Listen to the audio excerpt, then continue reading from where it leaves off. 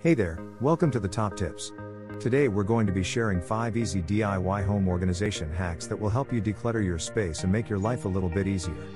Hack number 1 Use tension rods inside your cabinets to create extra storage space. Simply install the tension rods vertically inside the cabinet and use them to store baking sheets, cutting boards, or even pots and pans. Hack number 2 Organize your drawers with PVC pipes.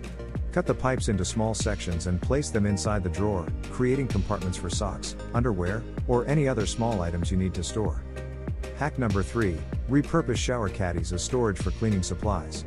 Hang them on the inside of cabinet doors or use suction cups to attach them to the wall for easy access to your cleaning supplies. Hack number 4 Use a tension rod under your sink to hang your cleaning supplies. This will keep them off the floor and make it easy to access what you need when you need it.